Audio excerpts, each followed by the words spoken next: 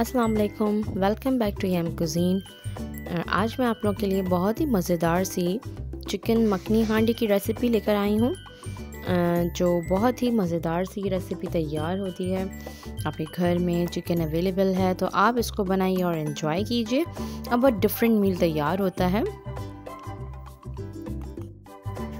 Recipe card को follow कीजिएगा। जितनी क्वांटिटी है, उसी को यूज़ कीजिएगा। बहुत अच्छी आपकी ये चिकन मखनी हांडी तैयार होगी।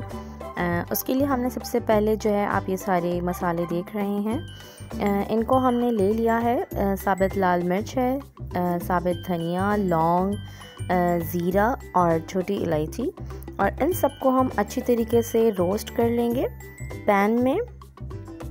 और फिर हम इसको मिक्सी में हम इसको जो है इसका पाउडर तैयार कर लेंगे। तो ये हमारा चिकन हांडी का मसाला जो है फ़र्स्ट स्टेप हमारा कंप्लीट हो जाएगा।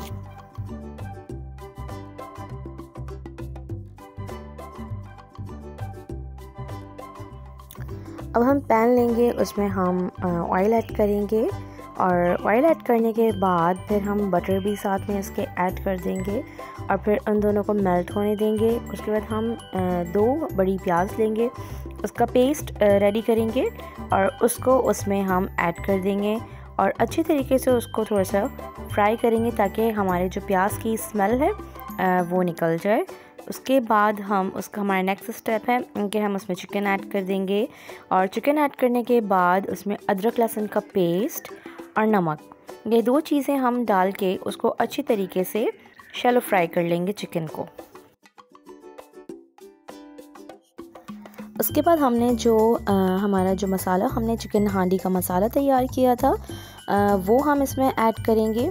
और वो आप अपने टेस्ट के हिसाब से ऐड कर सकते हैं। अगर आपको ज़्यादा तेज़ मसाला खाना है तो वो आप ऐड कर दीजिएगा ज़्यादा। मैंने टू टेबल स्पून अभी इसमें ऐड किया था। साथ ही हमने इसमें दही भी ऐड कर दी है और इन सब चीज़ों को हम अच्छी तरीके से मिक्स करेंगे।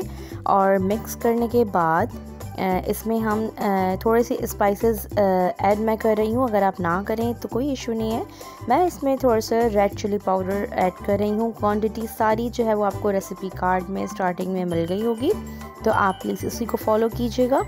तो इसको मिक्स करेंगे और बस फिर उसके बाद हम इसको थोड़ा सा कवर कर देंगे ताकि हम ये अच्छी तरीके से थोड़ा सा पक जाए।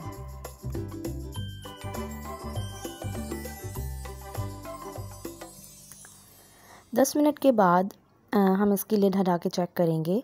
तो आप देख सकते हैं अच्छी तरीके से हमारी चिकन मखनी हांडी जो है वो रेडी हो रही है। इसमें मैंने बॉयल हमने बादाम लिए थे किए थे और उसका हमने आ, जो कवर है वो हटा दिया था और उसके बाद वो हमने इसमें ऐड कर दिया है और इसके साथ भी हम इसको थोड़ा सा आ, कुक कर लेंगे ताकि बादाम जो है उसके फ्लेवर और इन्हेंस हो जाए।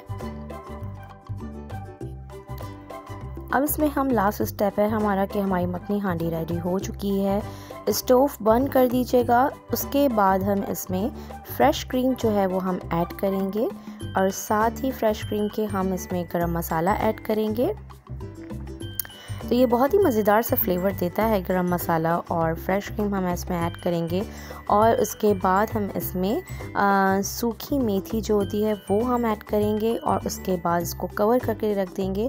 और इसकी बहुत ही अच्छी सी स्मेल जो है सूखी मेथी की हांडी में बहुत अच्छा फ्लेवर आता है उससे। तो उसको हम अच्छी तरीके से थोड़ा सा मिक्स कर रही हूँ मैं और मिक्स करके इसको हम आ, कवर कर देंगे और इसको हम रख देंगे।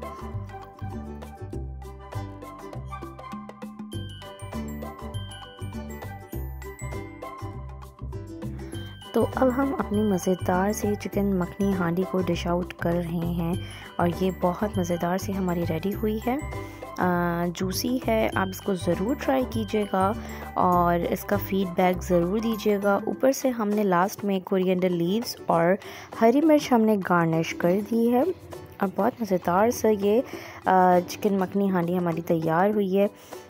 तो आपको वीडियो पसंद आई हो रेसिपी पसंद आई हो तो प्लीज़ कमेंट्स में ज़रूर बताइएगा। और सब्सक्राइब कीजिएगा मेरे चैनल को और बेल आइकन को हिट मत करना भूलिएगा ताकि आप नेक्स्ट वीडियो आपको सबसे पहले मिल सके। तो नेक्स्ट वीडियो तक के लिए अल्लाह हाफिज़।